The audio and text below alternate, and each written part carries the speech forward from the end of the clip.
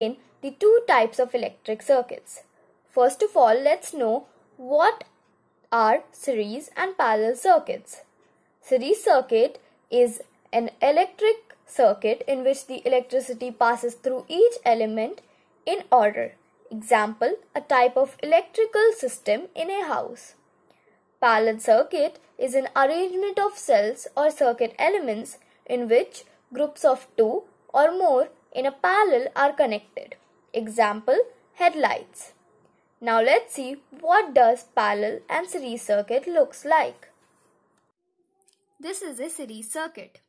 Here I have attached a battery along with a switch through which I can disconnect the current whenever I want. Here I have attached two LED bulbs in series.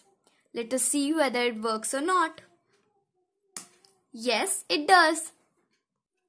This is a parallel circuit. Here I have attached a battery along with a switch through which we can disconnect or connect the circuit. Here I have two LED bulbs attached in parallel. Now let, now let us see whether it works or not.